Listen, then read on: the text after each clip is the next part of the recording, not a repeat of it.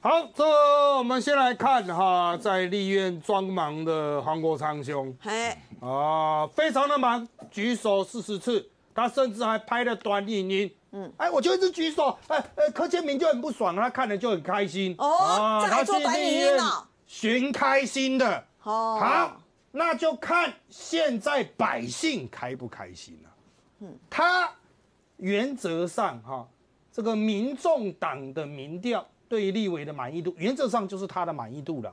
哦，因为除了他以外，连黄珊珊都快要没有存在感了。哎，黄珊珊现在到底负责什么部分不知道啊？嗯，啊，其他像我们熟悉的齐改革，那个存在感都更低了。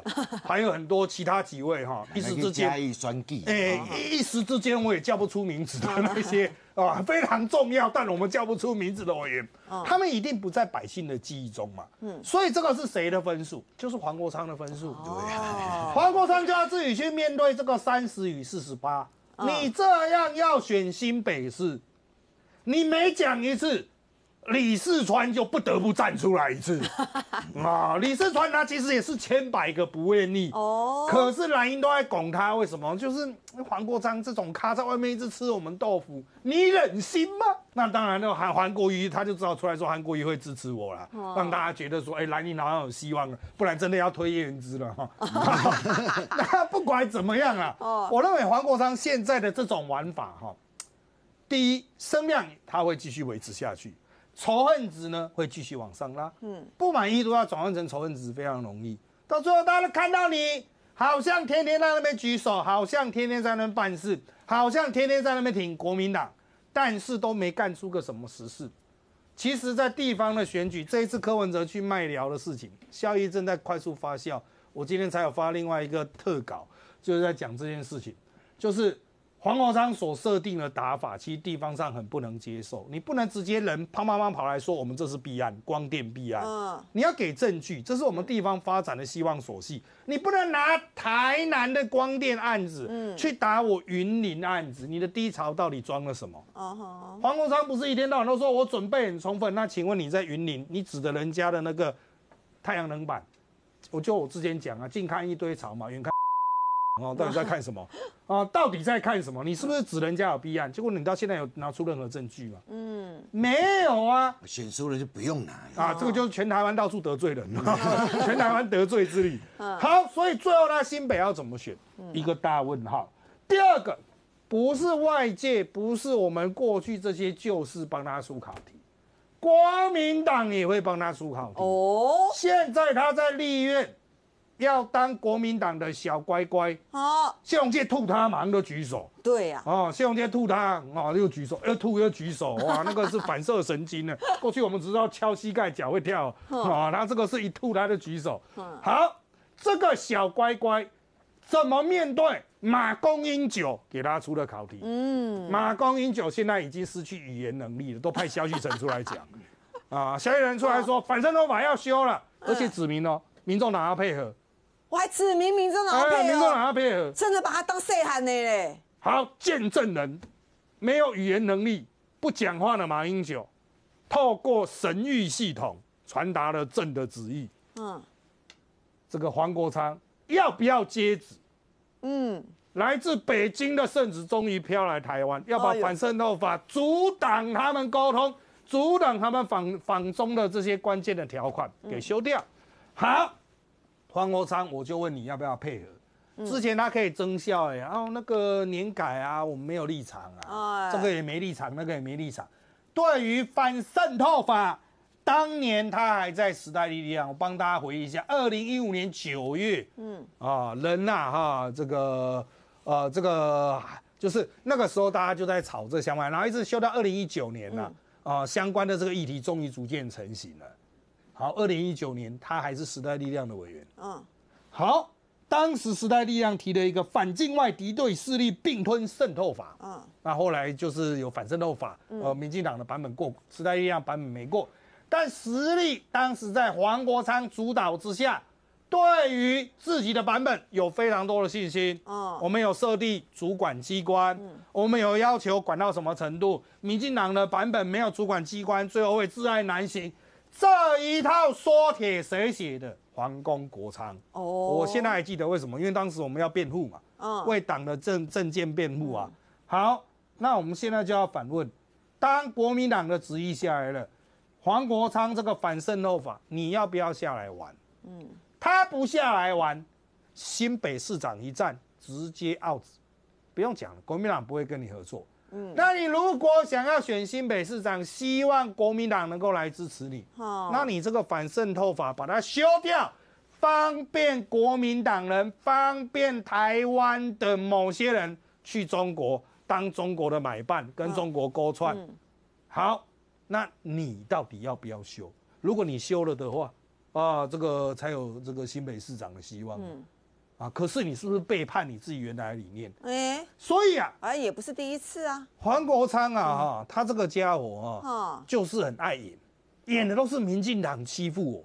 哦啊，民进党欺负我，所以我要怎么样啊？所以我要跳出来选，所以我要去民众党，所以我要跟韩国瑜抱抱，所以我要跟傅昆萁抱抱。嗯，所以呢，因为很讨厌民进党，民进党欺负你，你最好跟习近平抱抱啊。嗯，这是一步一步一步来的。嗯。你黄国昌觉得自己可以踩定立场，不会跨过心里的那道红线，但想得美，人家会逼你，动不动就一张考题丢出来，嗯啊，所以呀，想的太简单了。他这个人都把政治想的来，觉得国民党是他的最好的朋友，民进党才是他唯一的敌人。哎呦啊，这个你想太多了，你看那个支持度啊，哈，就知道蓝绿两边都把你当敌人。所以这个做人真的不要太天真。做人真的不要太装懂，你有理念就好好照自己理念去做。一旦开始牺牲理念呢，你最后就会一泻千里，没有止境。傅昆奇要带团到到中国参访嘛，在议会期间呢，嗯，礼拜四、礼拜五、礼拜六嘛，对，好几天的时间。哎，你没有选假日去啊，你选平日去，嗯，如果换作是几年前的国昌老师、国昌委员，会怎么样？太离谱了，一定是这样嘛？对啊，骂东骂西嘛，哎。现在国民党不担心他们在立法院票票数会比民进党少，嗯，黄国昌还替你担心呢，不然又起我要再念一次了哈，这个真的太经典了，我们认真看一下他怎么讲。哈，国民党是独立政党，有其主体性，党团的决定代表其意志，站在其他政党角度，不太适宜介入说三道四，有点担心。蓝绿目前席次太近，国民党立委集体访中意识可能有变化，天哪！天哪！天哪！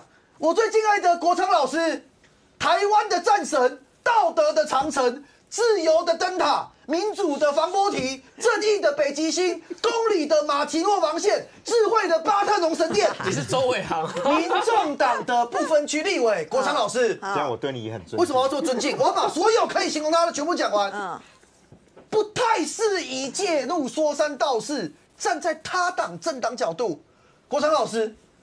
你确定呢？从今天开始，你可以讲民进党任何事吗？你再讲，你就叉叉了。对，你一样的标准吗？家务事没有。黄国昌整个民众党已经不是什么青蓝、挺蓝的，他是整个就是蓝的了嘛？完全不评论，他是仿中哎，完全不评论。在这个时间点，傅昆萁要去带一堆立委、国民党的翘班，不开会。去中国，哎，你好歹讲一下，说，哎，请国民党要讲清楚哦，这人民观感可能不好，哎，或者至少学朱主席啊，一开始讲说，哎，没有，人家没有，没有跟党中央报告，就是你至少有一个说法嘛，没有，完全没有。然后现在讲说，好，你担心蓝绿席次太近，啊那个怕访中啊，之后被民进党突袭，黄国昌，民众党有差吗？我跟你报告，我今天就揭露几个证据，民众党根本没差。上个礼拜我们不是因为那个复议案，然后那个后来有那个有坐票事件嘛，然后今天后来重新哎大家重新投票嘛，对，现在重新投票，黄国昌他们民众党讲很好听啊，哦，八席立委我们不挺蓝也不挺绿，不挺蓝是因为呢这个版本有问题啊，怎么可能反年改，所以我们不支持国民党。啊，不挺绿，我们觉得哦这个案子还是要进委员会讨论，民进党提的复议我们不支持。听起来有道理，对不对？完全没道理。来，我给大家看一下，这个是立法委员投票的那个投投票的系统。你看上面的那个颜色哈，有白色的钮，有黄色的钮，有红色的钮，有绿色的钮。我跟大家报告，投票前要先盖这个白色的，要要先按这个白色的，代表什么？出席。出席了之后，你有三个选择，你可以投赞成、反对。或你都不投哦，你也不投弃权哦。嗯时间一分钟到了之后，就会前面的那个荧幕就会跳出来弃权。嗯，为什么？小草们要知道你的态度嘛。嗯嗯，你不投赞成，不投反对，你要投弃权，对不对？你就都不投，也会跳弃权，对不对？我那时候我看就觉得很奇怪，因为我以前当过国会助理，嗯那个 LED 啊，怎么连弃权都没跳出来？嗯嗯，八席是没赞成、没反对、没弃权。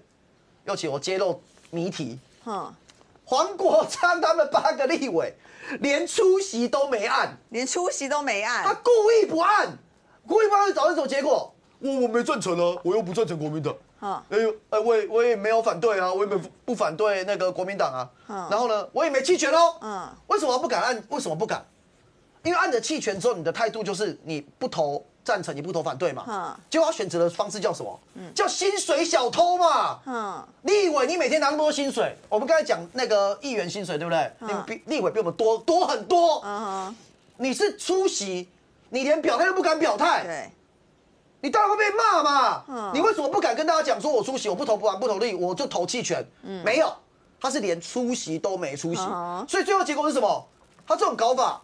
柯文哲现在知道实力原则吧，嗯所以被人家问到说，哎、那个就是有关于反渗透法啊，跟相关国安的法令啊，哎、你们态度是什么？柯文哲只能说你去问黄国昌，嗯。为什么只能问黄国昌？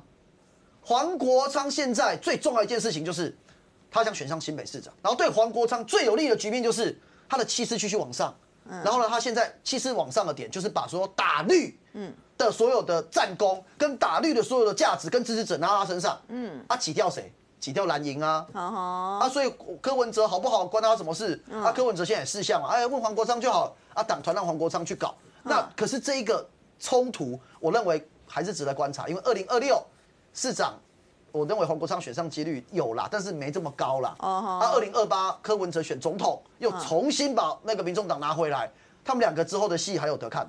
不过这个林涛怎么看呢、哈，这 个昨天柯文哲跟黄国昌一起上节目的时候，又被网友大酸。你看国昌老师来了，这个声量就上来了哦，这第一点。第二点呢，是不是因为这样子深受打击，所以呢，这个柯文哲这个被主持人问到说，哎，那这个呃四年后真的会再拼一次吗？柯文哲居然说不一定嘞。要看我的身体状况怎么样哎、柯文哲现在身体状况有怎么样吗？也不过才这个年初的时候才讲啊，我这个四年后一定一定再战，所以真的是不是受到黄国昌的这个刺激啊？哈，可是那说到这个柯文哲，现在这个黄国昌看起来呢，好像一个人这个已经吃掉整个民众党，哎，国民党不怕吗？现在黄国昌跟国民党这么好，什么都挺这个国民党，连国民党的这个反年改，黄国昌都按住过关，柯文哲可是跑去找蔡英文去谈劳保年金的耶，结果这边在支持你们反年改，你怎么看？其实我觉得柯主席他的心态现在感觉好像有一点意兴阑珊，好像对未来二零二八年充满了不确定性好。最大的原因就是卖疗一亿义无反顾，抢老三对他的打击太大了嘛。哦他说怎么可能？我先倾全党之力进去，竟然从三千三百一十四票降到两千多票。哇塞，他吓到了，那是骨牌效应，就是说，如果我的选战逻辑每一个二零二六、二零二八都要复制这样的选战逻辑，那我惨了。因为我提名全部都会变老三，那他所以对他打击好大，现在走不出来啊。他觉得说卖掉一亿对他的这是重击嘛，而且你知道那时候在卖掉一亿的时候，为什么民进党基本盘被吹出来？就是黄国昌去搞苏志芬，搞太大了嘛。你可以讨论议题，可是你用搞的方式，他就会超不爽的。民进党就跑出来，表态率就会提高。所以在这个角度来看，你看黄国昌是不是又害了柯文哲？哦而且现在你去看之前同时段大家在开直播，黄国昌的声量是大幅高于柯主席的网络的这种观看数。柯文哲说连零头都不到哎、对，这样就很尴尬嘛。那黄国昌来的时候，他当然想说啊，这柯主席跟我直播啊，我讲一下，我说。哎，主席就狗他一下嘛，嗯就说哎，你二零二八要要再选吗？他说啊，不想选，不行不行，你一定要选，主席你一定是最一名，你一定要选嘛。所以这时候黄国昌担心自己被清算，被很快就看出他的他的企图心。他说没有没有没有，主席你二零二八选，而且重点是什么？重点是黄国昌自己对自己的二零二六有期待。如果今天柯文哲提前说二零二八不选了，台湾民众党今天就结束了。所以他让他撑在那边嘛，哦至少派头撑在那边。二零二六还有一些资源，或是还有一些基本盘，他可以让这些小草还支持他嘛。所以你看到黄国昌这几步都在算自己，他哪有在算柯文哲啦？互相利用而已啦。所以我最新听到的消息是什么？你知道吗什么？台湾民众党现在的内部，黄国昌得势。哦，过去大家讲到蔡壁如被砍掉了，嗯，一直要回来，副主席、庄委员全部都不给砍掉。结果黄黄珊珊不是之前吗？就是侠战蓝派，说哦我们是核心人士，我们是掌清权一方，就是说这个权倾一时哈。现在也惨了，现在也挂了。哦，现在得势的是黄国昌真，可是我必须要讲，柯文哲主席不是没有意会到黄国昌正在鲸吞常识，可他能怎么样？现在流量啊，流量最高的是黄国昌啊，怎么办？二零二六变黄国昌对，而且你自己去看哦，二零二六现在在讨论县市首长的人要去哪里选，直接讨论谁的？黄国昌。如果连这一个讨论的焦点，黄国昌这在台湾民众党都没有任何，就黄国昌都不要讨论了，那基本上二零二六年的这个整个县市首长的布局没有台湾民众党的角色，那对台湾民众党一定重击的。嗯所以你去可以看到这个棋这个局势变成越走越窄。所以我在这边要提醒柯主席，不要因为卖了影响到你的本心。好不好？你想要对你想要干嘛没关系，身体健康的状况，多骑几次北高的这个脚踏车，对不对？那自己身体可以保保持的好。如果你现在不撑在那边，你准备被赶下台，真的那个就上礼拜五的所谓的不在籍投票的事对啊，件，太离谱了吧？我觉得是两个误会啦，两个误会加起来变成的状况啊。第一个第一个误会是我跟你讲，我真的是议事，我认为真的是议事人员有认错，以以为那个卢宪一有在现场。为什么呢？因为那那也是我第一次投票，我也才知道说，哦，原来投票是这样，就是我们要先签到，在外面签到嘛，然后进去之后，议事人员他就他就会帮大家插卡嘛，看到你他就帮你插卡。我我其实本人是没有碰到卡的，就是他看到我之后帮我把卡插在我的位置上。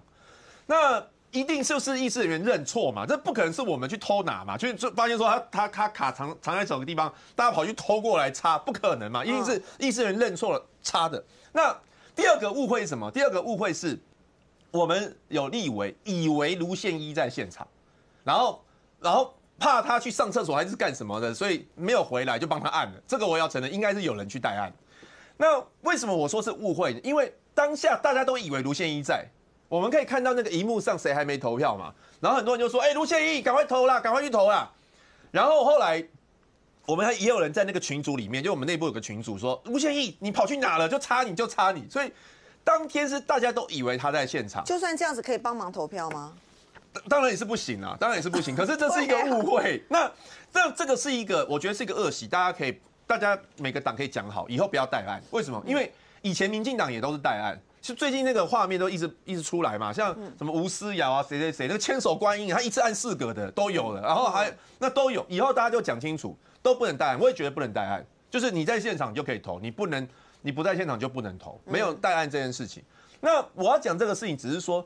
他不是恶意的作弊或舞弊，那个真的就是一个误会。那当然，当当然三次平手，哎，呃就表决过程不是三次，有三个案子嘛。对啊那卢宪一其实那个大案子发生在第一案，到了第二案的时候，大家都发现说，哎，他好像不在，就那个卡就被收走了。所以嗯，所以第二案、第三案是没有卢宪仪，所以第二案、第三案我们赢是因为韩国瑜。差那一票很重要啊。其实我觉得，就算没有那个两个，我刚刚讲那两个误会了，第一案我们还是会过。为什么？因为到那就那就是那个结果就会跟第二案、第三案一样，就是韩国瑜再投一次，就是就会变成说韩国瑜说这个呃同票同票是不是？好，主席表示反对，所以那个案子还是还是不会过。那我觉得这个民进党民民进党有抗议啊，那当然民进党要抗议也也是合理啦。那现在就是礼拜五的时候会来处理嘛，就大家来来讨论说这个案子要怎么怎么解决。如果说民进党认为说要再投一次什么，我我觉得我觉得也 OK 啊，反正礼拜五那一票，本来赢一票就变平手啊。对，对啊，怎么会怎么会一定过呢？没有，因为平手的话，就是因为第二案、第三案其实投出来也是平手，后来是因为韩国瑜说，呃，那同票哈，主席表示反对，所以才所以才没第一案，一案如果那个没有带头的话，其实就已经不能主席跟呃院长跟副院长都不能投，没有没有没有因为你赢了，没有没有没有没有，第一案韩国瑜没有投票，第一案韩国瑜没有投票，因为因为第一案平手卢才能带宪一被带。头之后才平手，所以第一案如果卢生一没有带头，民进党是赢的。没有没有没有，嗯第一案其实投了两次，第一次哦第第一次我们是输，但是因为投票对，所以我们在说第一次嘛。对，第一次嘛，可是因为其实可以重重复表决一次嘛，然后我们第二次为什么会会平手，是因为后来江启程来了。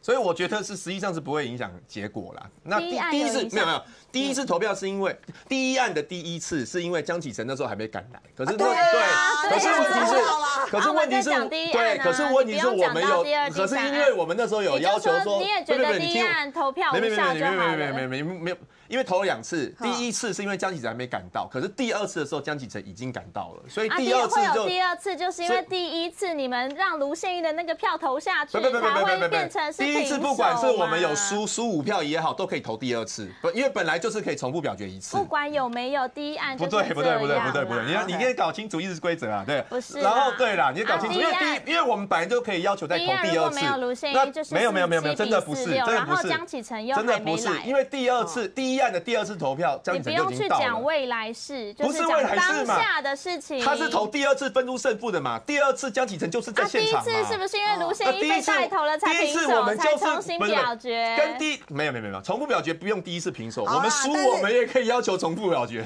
但是重复表决你们真的跟有没有平觉得这只是手无关一个失误哦？是的，啊。你们觉得就是我觉得是我觉得是误，我觉得是误会了。不不是，这个我补充一点，我觉得之前是有说有一些带头的事件都是因为他们有签到有在场，有时候有出席到院会里面，所以因为你表决的时候，你不要看这次只有三个案哦，以后会有一堆整天都在表决的时候有些人去上厕所，所以旁边的同事会帮忙带头，但是都是指人在。他出席的状况下，他他有签到出席的状况下啊，，他就你才能帮忙他们就。以为他有在嘛，他们就以为他有出席，所以我说有误会嘛。谁以谁以为他签到了问题来了我怎么知道是问题了谁谁以不是我为谁我说的插卡说不是我谁带头，这都要抓出来，因为他影响了投票的结果插卡。一定是议事人员插的嘛？刚刚已经解释很清楚，就是说认错人帮他插了，然后然后我们的人又以为他在，所以帮他投。那我现在讲说，以后大家都不要说以为在不在，签不签到，反正不管怎么样都是不能带头嘛，哦大家就讲清楚嘛。那民进党以前那种带头我也觉得不可以啊，那国民党这一次误会去带头，我觉得也不可以啊，大家以后就讲清楚嘛。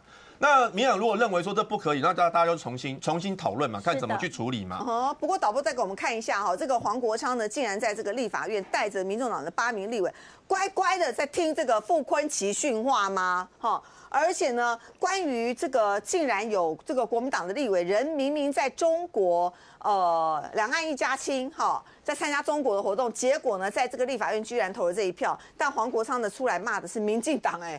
民进党永远用圣人标准要求他人呢，还叫民进党呢这个不要动不动就哭啊，停止顾了巨婴的这个行为，什么状况啊哈？然后呢，更好笑的是，这个呃柯文哲请全党之力去麦寮辅选，最后选输了。黄国昌也讲都是年轻人没有投票哈。那柯文哲显然也是这种看法啦。所以请教黄姐，你怎么看这些乱象？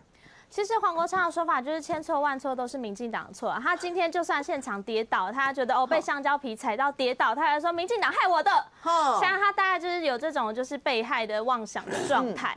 那讲一下这个事情哦，就是从上礼拜五投票到现在，最大的争议点就是来自卢宪一这个国民党立委，他那天是不在的。对这件事情最荒谬的地方就是他当天人在中国，他没有签到，这个都是铁铮铮的事实。可是他却领到了票，然后他还被按下了这个他的投票的表决。嗯也就是说有人冒领，然后帮他带头嘛。我觉得一开始到底是谁去领这张票，他人就不在、啊。没错，这个是现在到现在我们院方没有办法厘清的。所以刚刚袁之说为什么要去骂韩国瑜，他当然有连带责任呐、因为他是主事者，他是这整个院最需要维持意识的人。嗯结果到现在我们一直问他说，当天到底发生什么事情？你们议事人员到底什么？你没有去调查吗？啊，到现在给不出一个结论啊，给不出每一个调查报告说，哦，当天真的是哪一位议事人员？就算他真的不小心认错好了啦，你要告诉我们是谁吧，跟大家给个交代吧。啊，立法院是可以这样随便糊弄过去的吗？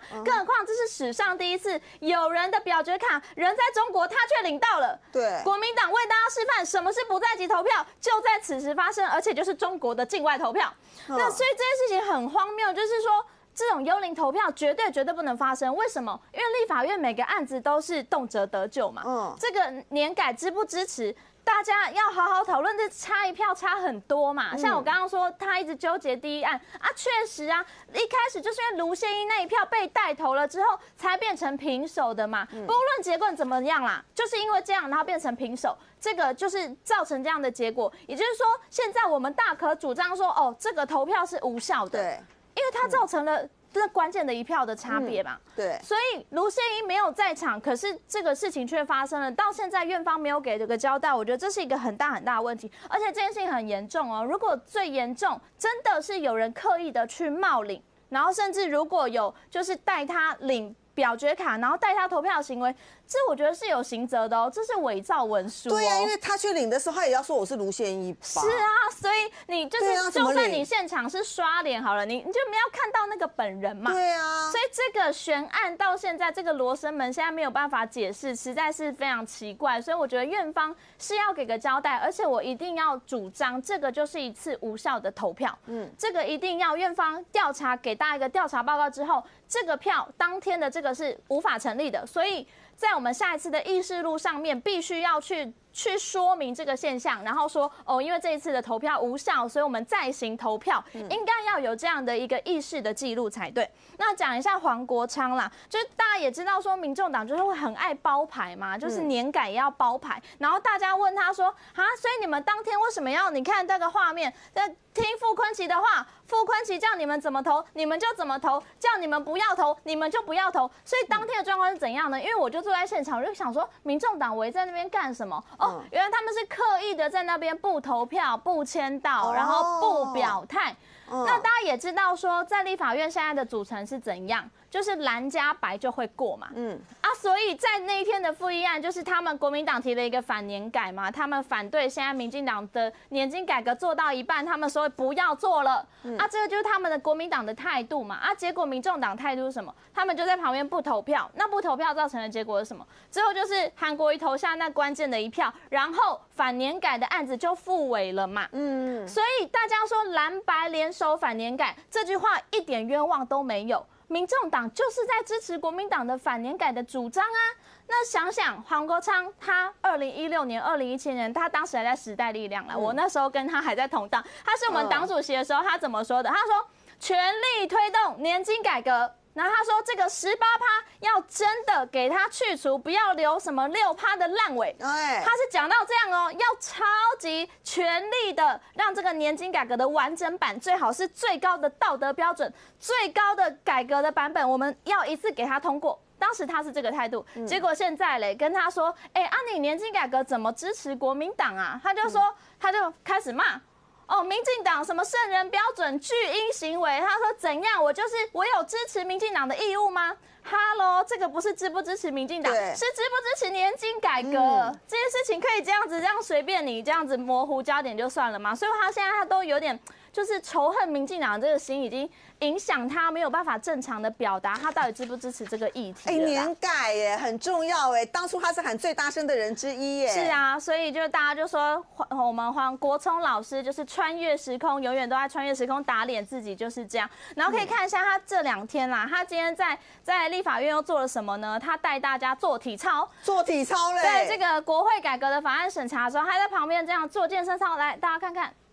哦，这样子哦，头有点酸，然后这样左转右转，然后就是在哎，这样可以拍一次抖音了呢。没有错，这就是他的目的，他就是希望我们在这边讨论他的这些举动嘛。那当然，这个我觉得小丑化确实是黄国昌一个目目前的走向。大家有发现他上次也是在立法院做类似的动作，在党团协商的时候，他旁边抖他的肚子，然后王一川还模仿他，有没有？就是抖那个肚子抖得很像，因为要有肚子的人才抖得出来。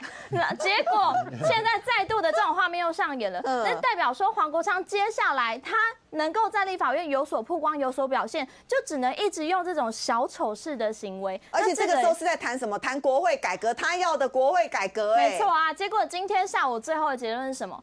过去谢龙介跟他拍拍肩，然后他就举手支持国民党的版本了。这个就是现在的民众党，请大家看清楚。那个时候黄国昌，嗯，二零一六年廖国栋在帮王金平案的时候。你那时候在时代力量，你跑出来严重抗议，逼得廖国栋最后道歉呢。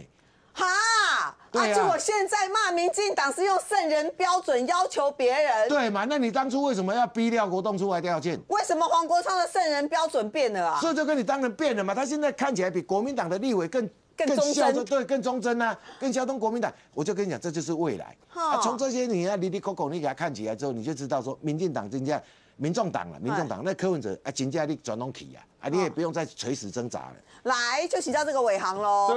这个你怎么看这个黄国昌啊？哈，如果赵学伟的说法，哎，当年这个廖国栋帮案的时候，你逼到廖国栋道歉呢，现在莫名其妙谁去领了这个卢宪一的这一张票，这个幽灵票还给他投下去？黄国昌说你们干嘛要求这个？这个叫做圣人标准，那也查下谁啊？这圣人哈，当然了哈，我们都知道哈。啊，国昌兄不是圣人啦，啊，他这个他家在戏子也有窃占国有地嘛，啊，戏子神偷啊，哈，那当然现在地是还回去了啦，我们不会用圣人标准要求他，只希望他不要再瞎眼了，看不到他家前面的地变停车场啊，稍微眼睛睁亮一点。今天这一系列从这个之前投票，上个礼拜投票到今天这一系列的操作啊，黄国昌讲说。哦，我们这个没有什么立场啊，怎么可能没有立场？你注意他话中的话哦。哦，我们先不看他今天，今天有一幕，刚才黄姐讲了嘛，嗯，就那个黄国昌在玩手机啊，好好好，谢红姐，呃呃呃，黄国昌，哦哦哦，赶快举手 啊！到底投什么？便当吃猪排？不是啦，投什么案子都不知道，谢宏在吐你，你都赶快举手。哎，何年何月？黄国昌。居然变成谢龙介一吐就会投票的人，了不起啊！哈，这是一种成长，年纪大了，终于会交朋友了。好，那我们来看他当年讲的话。啊，不是当年了，上个礼拜。先不要看当年，这个再提当年的他更残忍哈。上个礼拜他讲 嗯，这个民众党哈，为什么一定要照柯建明投票？嗯，国民党。他们要把这个案子送到委员会讨论，嗯，那就国民就送去讨论啦。对，啊，我就反问哈，你觉得国民党把案子送去委员会是对还是错？对，啊，就这么简单，就这么简单。如果国民党是对，啊，你民众党要投啊，对的事情不支持吗？如果你觉得国民党是错，那你要挡啊。对，没有不对不错啊，因为你自己都讲国民党要讨论呢，啊，就讨论啊，那就是对啊。啊，我们不投票，嗯啊，那谢龙介一吐你，你赶快投，是不是因为谢龙介没来吐你，是傅根奇吐你，所以你不投？哦，那我这国民党下次哦知道了嘛，就叫谢龙介去吐嘛啊。我们注意巧心说什么？哦，巧心误把丁学忠。误以为，呃，就是那个小心说，议事人员误把丁学忠误以为是卢宪一，所以他直接议事人员拿卡插下去，对，插在卢宪一。嗯，那我们要反问的问题是，啊，丁学忠的卡嘞？对呀，应该是说丁学忠的卡哪里去？因为丁他看到是丁学忠插的是卢宪一对，那丁那看到谁？插插在丁学中呢？难道是看到丁学伟吗？插在丁学中？没有这种事嘛？没有这种事。那那个卡是怎么插进去？对，所以这有两栋。第一栋是啊丁学中的卡嘞。对。第二栋是谁手贱去按？嗯啊，这是两个错，两个错敌人这个啊，请韩国一好好查啊。嗯啊，那当然黄国昌要不要好好查？我们不会勉强他。啊，因为他现在就是圣人标准不一样没有，他现在就是那个谢龙介一吐，他就哦哦哦哦哦，谢龙介没有圣人不一样。谢龙介没有吐他，他不会去投，哎，他不会去查了啊。好，那再来我们来讲柯文哲啊，再次变老三。其实啊，我之前就有说过，柯文哲去拼麦了失策。嗯，为什么？人家说你党主席亲征赢了应该啊，你看别的党主席有下去亲征吗？没有，顶多韩国瑜嘛。党主席。啊，最有趣，那不重要。那谢志都说他不重要啊，没有朱立伦防伪不重要。他这一趟下去，还强调 long stay，天天开直播，变成这样，选到第三名。注意我之前讲的，他选赢应该，选输活该。嗯，现在真的输了啊，真的活该啊。嗯，你干嘛要下去撸这一个？你现在回来就是党内一定会有斗争啊。所以他一定先推给蔡壁如嘛，嗯，啊，也可以贴给黄国昌啊，哦，啊，就你啊，你跟我讲什么？这里有光电弊案，嗯，哦，大家可能比较没有认真看民众党发的文宣，嗯，他们说那里是光电圈地，光电弊案，嗯，骂得很凶，但是他举出来的资料呢是台南的，奇怪，你没有在地资料吗？请问你黄国昌地槽地槽是装什么鬼东西啊？你跑去指人家关帝边，你要有那边的东西。我想柯文哲去到那边讲关帝边，后来发现被黄国昌卖了，哈，根本他手中没有东西。好，而且他还讲人家那个地是良田，哦，他有用这个词良田变光电，啊，实际上那个就盐碱地啊，就海边嘛。好，所以他就触及了当地人心中的一个，当地人心中就觉得这种地你你还能做什么利用？嗯啊，就做光电啊。对你就是要来挡我光电，我还投我还投你吗？嗯，这不是一个很现实的问题吗？再来就是哦，他们就太着重于空战。嗯，他就营造了一种印象，哇，高来高去，每天开直播，每天上新闻，在地真正在跑的候选人有没有新闻？没有新闻，这形成一个什么印象？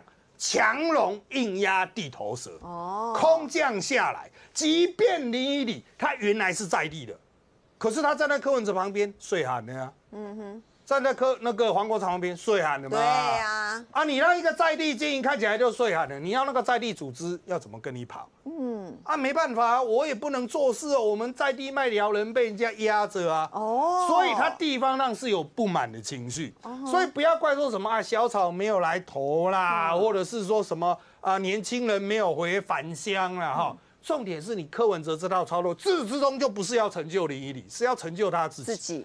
可是呢，他开出来的结果如此之差，还倒退路，嗯，他会对他造成一个很严重的影响，就是啊，我已经听到了啊，其实刚才大家有举一些例子，之后有一些有实力的地方派系人士，他会讲说，我不要挂民众党，我挂五党都比你多啊，哦，挂五党的时候都比较好，不就这一次的这种血淋淋的教训吗对？哦那接下来民众党真正的问题就是什么？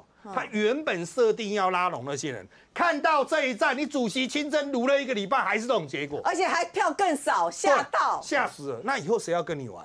就没有人会跟你玩？而且少很多哎，少了四成哎。啊这个就是比起上一次，这个哈、当然选票的比例也会萎缩了，但重点是他的得票率也下降，嗯也比原来五党的时候下降。嗯对啊所以现在这个最残酷的一点就是验证了柯文哲自己心中设定的这套战法呢，他在地方选举根本就不能用，嗯而且接下来的状况只会越来越恶化。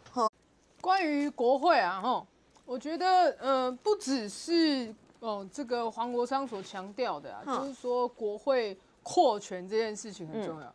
其实我认为哦、就是军工教年改这件事情也非常重要。对那不管是在年改，或者是说这个所谓这个司法委员会哈、要这个强行通过这件事情，黄国昌的表现啊，其实他都是忍辱负重。啊，忍辱负重哦，哦原因很简单啊。他了是吧？对啊，因为第一个啊，你知道昨天是七个小时，哎，我们国昌吼，哦，就算是哦有被人家怒骂，哎呦，他都说了，好，他都忍辱负重，吼，不说话，没有情绪，他为的就是想要把这些法案啊送出去啊，哎呦，所以他办到了。哦，我为人人呐，是不是？啊，所以他待七个小时举四十四手，是他人生第一次忍耐当小弟。哎哦，真的对。举了四十次的时候，谁能叫得动黄国昌？不容易。对，而且重点来了，重点是关于这个年改的部分。嗯，他这一次这个像风一样的男子啊，哦，他连哦签名都没有签。对，哦，那这个我们这个这个所谓呃，民众党有一位去花莲，哦，所谓这个诶七张票啊，完全也都没有投。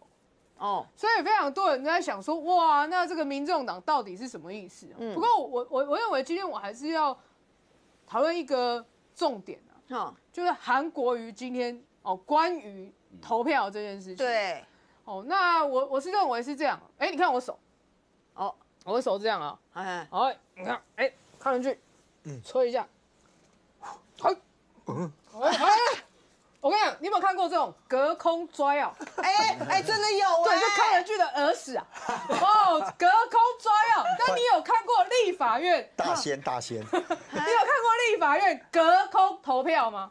哦，康仁俊最近赚不少，连儿子都赢了。真的哦，儿子是儿子，重点是得了了这，隔空投票这件事，我觉得是非常的夸张啦哎。为什么？因为大家都知道嘛，卢修卢这个卢宪一，宪一对，卢宪一啊，他去了中国，嗯对，他人不在。对，那为什么立委投票里面哦，中间就出现了一张卢宪一的选票。我觉得，但是韩国院长他是站在中立的角度，直接裁决说，哎，是议事人员的问题，因为议事人员他发了卡，哎，哦，也插卡，哦，嗯。插进去，哦，所以他要行政处分。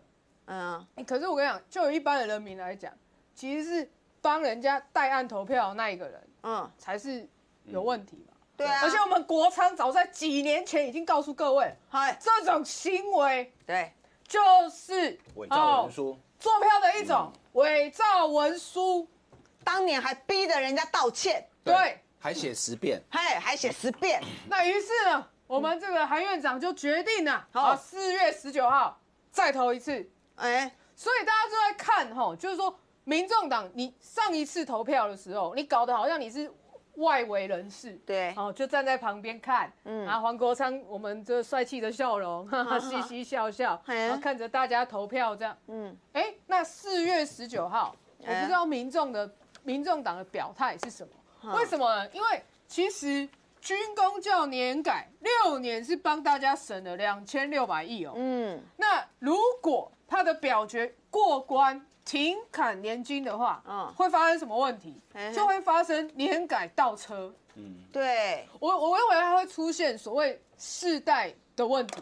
嗯，为什么？因为你要知道哈，也就是说，我们每一年呢、去挹注这个所谓年改的这个年金，如果不修正，会造成之后财税财税上很多就下一代人他们财税上的困境。的而且其实说真的啦，嗯军工教哦军或者是警察嗯等等，他们希望的是什么？他们其实是希望是我现在的待遇能够更好。嗯，但如果你的这个年改哦倒车的话，那他的他他绝对他的待遇会被剥削，而且无法提升。其实我我我必须跟国民党讲啊，这绝对不是一个太聪明的做法。嗯嗯，因为我说真的，你去改年改，你是为了你的选票吗？如果是这些选票，你早就拿到了。